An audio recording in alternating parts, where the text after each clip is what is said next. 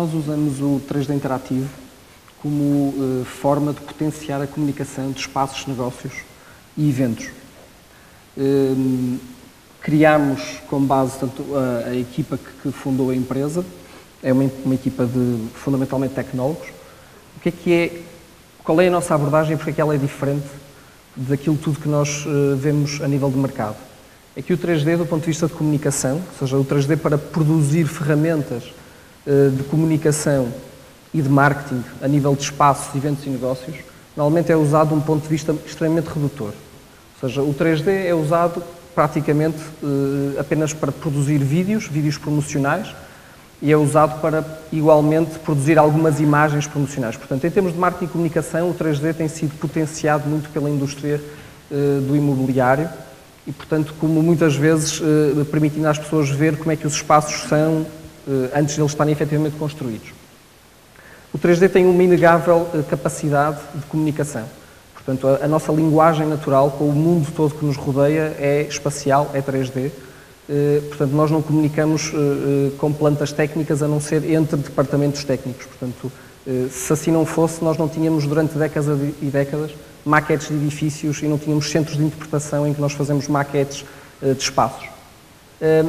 O que acontece é que está, é, é, é, digamos, e o tema de hoje é perfeito para ilustrar isso, eh, todo o conteúdo 3D que nós vemos de uma forma geral a nível de internet eh, carece, digamos assim, de tudo o que está ali daquele lado direito. Ou seja, eh, o conteúdo 3D que nós conhecemos, a forma como se integra num site é através do play de um vídeo ou é através, eventualmente, de um download. Ou seja, o, o, o 3D não tem nenhuma capacidade, digamos assim, eh, de gerar informação, de perceber o que é que as pessoas estão a consultar dentro desse 3D ou não. Eh, por outro lado, o 3D normalmente também nunca está associado a sistemas de informação. Portanto, eh, quem tem, um, um, um, digamos, uma imagem, um cliente que adquiriu imagens 3D ou vídeos 3D, não tem qualquer capacidade de controle sobre esse mesmo conteúdo. Portanto, ele foi feito uma vez, se ele quiser fazer algum tipo de ajuste, ele vai ter que fazer todo esse conteúdo novamente.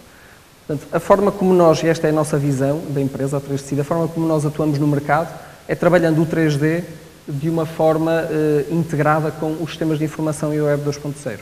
Portanto, aquilo que nós temos estado a falar, e durante as, as, as apresentações que me precederam, uh, temos estado a falar muito dos sistemas de informação e do Web 2.0, Web 2.0, sistemas de informação, e, e nós, 3D, achamos que o 3D pode potenciar de uma forma geral, muitos destes sistemas têm sido aqui até falados. Uh, há, nomeadamente, uma, uma, uma, parceria com a Twizy, que depois irei explicar um bocadinho mais o potencial que isso pode ter. Quando nós juntamos estas peças todas, quando nós juntamos 3D, sistemas de informação e Web 2.0, uh, aquilo que nós conseguimos, se quisesse sintetizar de uma forma extremamente simples, é, um, conseguimos aumentar a audiência, porque, uh, digamos, os conteúdos 3D são muito mais intuitivos e muito mais perceptíveis pela uma generalidade muito maior de pessoas nós conseguimos captar muito mais atenção e, tipicamente, quando nós juntamos muito mais audiência com muito mais atenção e muito mais motivação em explorar os conteúdos, também conseguimos maiores níveis de sucesso. E isto é aquilo que nós na empresa chamamos, de um ponto de vista provocatório, obviamente, interatividade 3D feita da forma certa. Para nós, interatividade 3D não é ter um ecrã uh, em que as pessoas conseguem carregar nos botões. Isso não é para nós interatividade 3D e vocês já vão ver os nossos dois produtos, eh, eh, digamos, flagship products, os nossos produtos bandeira, que é o Alive Places e o Alive Panoramics, e irão perceber certamente a diferença entre, entre os produtos e aquilo que há atualmente no mercado. A empresa eh, encontra-se a desenvolver sustentadamente tecnologia desde mais ou menos finais do ano 2010, no qual adquirimos investimento privado e estamos, obviamente, a trabalhar a partir de Portugal, mas com uma, uma lógica muito grande de exportação logo à nascença e, portanto, os, estes dois produtos que estamos a desenvolver podem ser vendidos e comercializados para qualquer ponto do mundo. Temos já alguns clientes, algumas parcerias, portanto, a fase inicial de uma empresa deste género eh, e como as outras que me precederam também, são sempre é uma fase de encontrar uma base de trabalho e, uma, e, e digamos, validar as ideias no terreno. Essa parte, essa, essa etapa eh, já foi feita e aquilo que nós temos neste momento são três grandes áreas. Eh, de atuação na empresa. Uma das áreas, a última, o Live Reality, é uma, uma área de serviços, portanto, a realidade aumentada, da forma como nós a trabalhamos com conteúdo 3D, eh, presta-se, digamos, às mais variadas aplicações, desde promoção de produtos, eh, produtos físicos, até meras operações de marketing digital. Onde nós nos vamos concentrar hoje nesta apresentação é no Alive Places e no Alive Panoramics. São efetivamente dois produtos, portanto não são duas áreas de serviços, são dois produtos que depois podem vir a potenciar toda uma série de integrações com outros sistemas, porque no fundo eles vão atuar como janelas para a realidade, janelas para uma série de sistemas de informação e uma série de já, já previamente existentes. Portanto, o que é, que é o Alive Places? O Alive Places, no fundo, é pegar no conceito da maquete digital, ou seja, a maquete física, melhor dizendo, e, e trabalhá-la de um ponto de uma lógica digital. Portanto, nós vamos a museus, nós vamos a, a feiras, nós vamos a edifícios públicos e muitas vezes somos, uh, temos uma maquete que nos ajuda a compreender o espaço, ou temos plantas uh, físicas que nos tentam ajudar a compreender o espaço, mas realmente a compreensão delas é extremamente reduzida. E, portanto, só para não estarmos muito com só a falar a falar, o Alive Places, no fundo, é, e este slide ilustra isso, tem ali alguns dos pontos, portanto, se o seu negócio vive num determinado espaço, então mostre-o. E faça-o de uma forma simples. Ok? E fazê-lo de uma forma simples fazê-lo de uma forma simples. Vamos pôr aqui. Temos, por exemplo, um dos espaços do UPTEC, que é o Polo de Indústrias Criativas, okay? mas comunicado de uma forma 3D. Okay? E cada um destes espaços, ou seja, o edifício e cada um dos espaços que o compõem, podem ter associadas informações dinâmicas que são preenchidas, temos lá está o tal sistema de informação, que são preenchidas pelo nosso próprio cliente. Okay? E, portanto, isto é uma forma de utilizar 3D, isto é web, isto é uma página que é partilhada numa lógica de Google Maps ou de vídeo do YouTube, ou seja, para o nosso cliente não há fecheiros a passar de um lado para o outro, para o nosso cliente há um link, há um bocadinho de código como quando nós partilhamos um Google Map ou quando, quando nós partilhamos um vídeo do YouTube. E ele pode colocar isto em qualquer ponto do seu site, pode colocar isto nos blogs, nos sites, nos seus e-mails, pode mandar para... Eu, eu vou mais do que seguir, digamos, um um, um, digamos aqui, um guião, eu vou-vos dar exemplos de funcionalidades.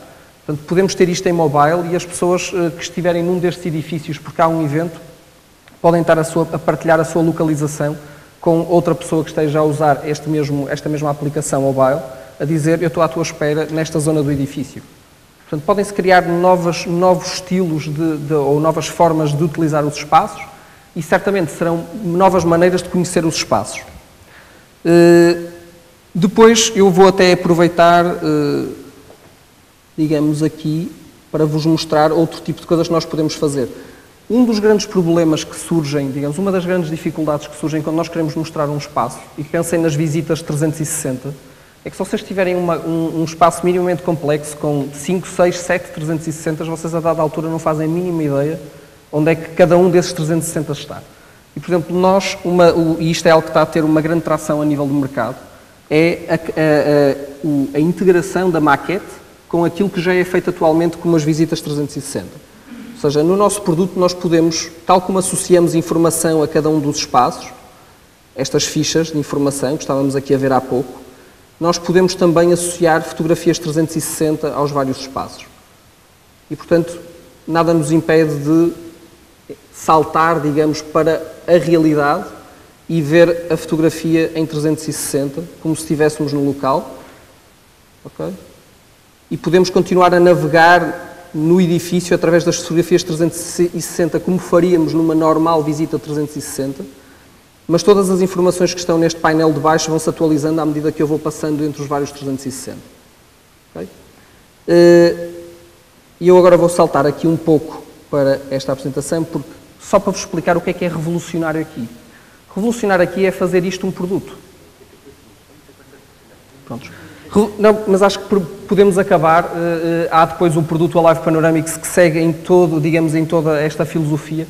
Mas uh, eu explico-vos o que é que é revolucionar aqui.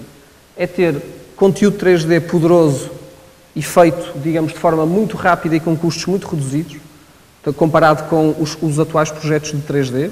Portanto, é um 3D mais focado na área da comunicação, integração de informação é termos a gestão em tempo real via uma plataforma, todas as informações associadas de forma simples, que permitem aos departamentos de marketing e comunicação uh, uh, utilizarem isto como uma real ferramenta de trabalho. e não como um bibelô que custou muito dinheiro, eh, é termos eh, business metrics, ou seja, é termos tudo isto integrado com o Google Analytics e conseguirmos gerar estatísticas do que é que está a ser consultado em cada um dos espaços, quer fotografias, quer 3D, eh, e é termos tudo isto suportado numa lógica de produto e, portanto, software as a service. Ou seja, isto não custa, eu vou só terminar, só para vos mostrar a realidade atual. A realidade atual é esta: é Austin, Texas, a comunicar 3D e o seu campus universitário desta maneira. É o Electric Sheffield Works com um problema a nível de, do Flash Player, mas a gente faz aqui um reload, a comunicar assim a sua incubadora e os sítios que estão disponíveis para serem arrendados e não estão disponíveis.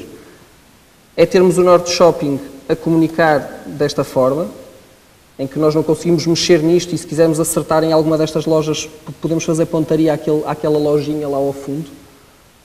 É termos faculdade a comunicar assim, é termos a alfândega a comunicar desta forma e eu podia-vos continuar, uh, este, este não comunica, uh, portanto eu podia, eu podia continuar por aqui fora e mostrar-vos 10, 20, 30, 40 exemplos de empresas que pagaram e repagaram sempre a reinvenção da roda e que podiam estar a pagar um software as a service, uma subscrição do nosso produto e, portanto, podiam ter um FII, por exemplo, de 100 euros por mês e estarem a comunicar o seu espaço de uma forma verdadeiramente inovadora e revolucionária.